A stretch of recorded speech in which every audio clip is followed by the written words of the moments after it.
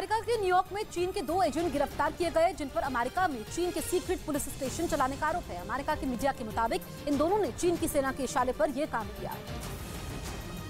जिसकी खबर मिलते ही न्यूयॉर्क पुलिस ने उन दोनों को गिरफ़्तार कर लिया। अमेरिकी मीडिया के मुताबिक, चीन के ये एजेंट वहाँ चोरी छिपे पुलिस स्टेशन चला रहे थे। उनका मकसद चीन से भागे हुए अपराधियों को ढूंढना और उन पर देश लौटने के लिए दबाव डालना था। लेकिन इसकी जानकारी उन्होंने अमेरिकी अधिकारियों को भी नहीं दी। यानी वो चाहते थे की उनके डराने धमकाने ऐसी ही चीन ऐसी भागे हुए अपराधी लौट जाए। इसके अलावा उन दोनों को अमेरिका में चीन के खिलाफ हो रहे प्रदर्शनों को रोकने की भी ज़िम्मेदारी सौंपी गई थी। चीन इस तरह की हरकत पहले भी जापान में कर चुका है। इसके अलावा आरोप है कि वो कनाडा में भी यही चालाकी अपनाने में जुटा हुआ है।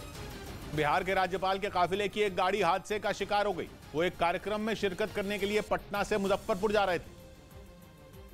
लेकिन इसी दौरान वैशाली ज़िले में उनके काफिले में चल रही दमकल विभाग की गाड़ी का बैलेंस बिगड़ गया, जिसके बाद वो डिवाइडर को पार करते हुए दूसरी लेन में एक ऑटो से जा टकराई।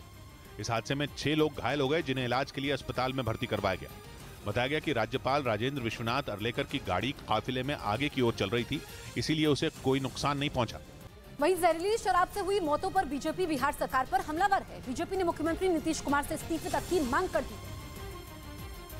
इतना ही नहीं बीजेपी ने बिहार सरकार को संवेदनहीन तक करार दिया और इशारों ही इशारों में मुख्यमंत्री नीतीश कुमार से इस्तीफे तक की मांग कर दी। मुख्यमंत्री लिख के दें कि बिहार में यदि एक भी बोतल शराब बिकेगा तो नीतीश कुमार इस्तीफा देंगे ये भी लिख के दें। वहीं कभी नीतीश सरकार में डिप्टी सीएम रहे सुशील मोदी ने भी बिहार सरकार पर हमला बोला। पिछले छह वर्षों में तीन सौ से ज़्यादा लोगों की मौत हो चुकी जहरीली शराब से। तो सरकारी आंकड़ों के अनुसार केवल तेईस लोगों की मौत हुई। बिहार में फ़िलहाल इस मामले में सियासी भूचाल अतीक और अशरफ की हत्या के बाद पुलिस ने गुड्डू मुस्लिम की तलाश तेज कर दी। गुड्डू मुस्लिम अतीक अहमद का सबसे भरोसेमंद गुर्गा माना जाता है। और पुलिस सूत्रों का दावा है कि अतीक के बाद गुड्डू मुस्लिम ही वो शख्स है जिसे अतीक के सारे नेटवर्क की जानकारी है। यहाँ तक कि पाकिस्तान से जिन हथियारों को ड्रोन के ज़रिए पंजाब लाने की बात कही जा रही है वो काम भी गुड्डू मुस्लिम की देखरेख में ही होता था। इसलिए अतीक को डर था कि वो अगर पकड़ा गया तो उसके सारे राज खुल जाएँगे। और इसी वजह से पुलिस अतीक और अशरफ से उसके बारे में कई बार सवाल कर चुकी थी। आशंका जताई गई कि असद की मौत के बाद गुड्डू मुस्लिम को भी एनकाउंटर का डर सताने लगा। जिससे बचने के लिए वो बार बार अपनी लोकेशन बदल रहा था। पुलिस गुड्डू मुस्लिम को उमेश पाल हत्याकांड के बाद से लगातार ढूंढ रही थी।